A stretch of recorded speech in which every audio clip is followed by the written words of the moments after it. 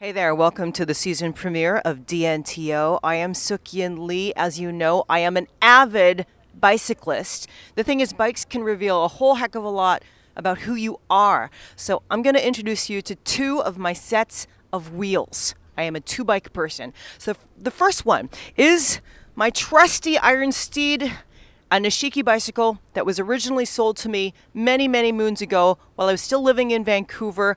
A kid raided his basement, pulled out this bike. His landlord said he could have it. He found me and he sold me this Nishiki for 15 bucks, a steal of a deal. And this bike has really served me well. The great thing about this Mixte is it is so rickety and, and old, nobody dares to steal it. And I rode it for many, many years. And one day, this bicycle collector said, Hey, that's an amazing bike. And lo and behold, I found out my cheap little bike is actually collectible. It's called a Mixte. Now, the Mixte, if you look at these three, the frame has three arms all joined together. It's a very rare structure, and this one was made a long time ago entirely out of steel. Beautiful back cage. I really need a cage to hold my laptop and all kinds of stuff. Now, this cage was given to me by a bike activist in town by the name of Eugene Yao, who was a wonderful man. He passed away seven years ago, but he outfitted me. I told him, Eugene, I, I need something. What can you do? And I walked into his store and he pulled this out from the back room, and it's a this is such a good thing. He attached it here, and I was able to carry so many things, transport and commute. And then I kept riding this bicycle, but after Eugene passed away, I brought it to other stores, bicycle repair people. And after a while, well, one bike repair person said, Sook-Yin, this is a death trap. In the wake of my repairman refusing to work on this beautiful bicycle, I, I did have to put it, store it in the basement.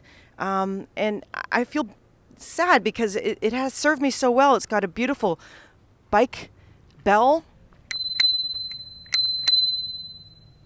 I have to say that this plastic bag covering the seats, what does it reveal about me? Well, it reveals that, oh, there's another plastic bag under there. As you can see, the, the center is full of foam. It's been exposed. The plastic has been ripped. This is a real big bummer on a rainy day because what happens is the rain absorbs into the foam and voila, you arrive to work with a wet bum.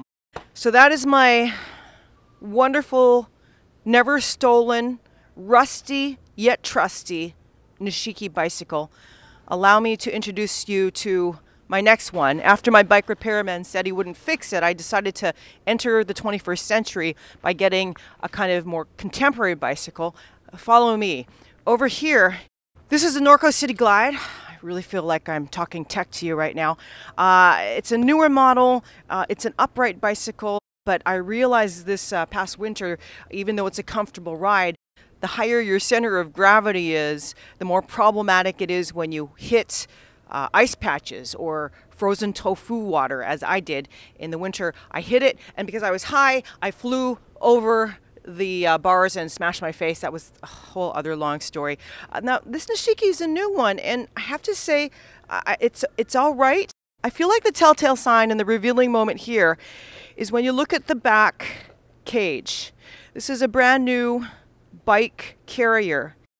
I have had this for less than a year and check this out. It's already rusted and it's already broken at the bottom. As you can see, all along the seam, the wire has uh, come apart, it's detached. It's not going to be holding things for long, which makes me wonder exactly, although new, this uh, Norco City Glide has been falling apart quite quite fast, which means maybe I will resurrect the old Nishiki, old faithful over there, lying down on its side to see if I can actually refurbish the old girl. But for now, I'm off to work on my bike with my blue bike helmet.